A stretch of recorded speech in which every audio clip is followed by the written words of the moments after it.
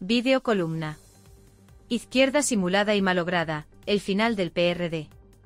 El Partido de la Revolución Democrática, PRD, una vez un bastión de la izquierda en México, ha perdido su registro oficial como partido político.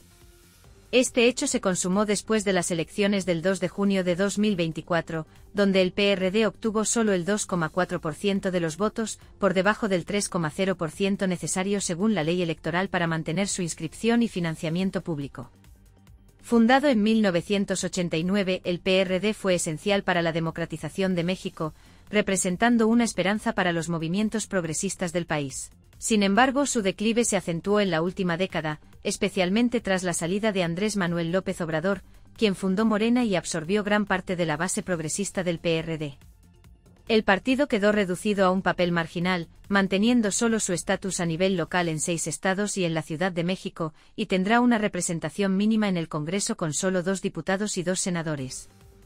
La historia del PRD es una de logros significativos en la política mexicana, pero también de conflictos internos y traiciones ideológicas que finalmente llevaron a su desaparición del escenario político nacional.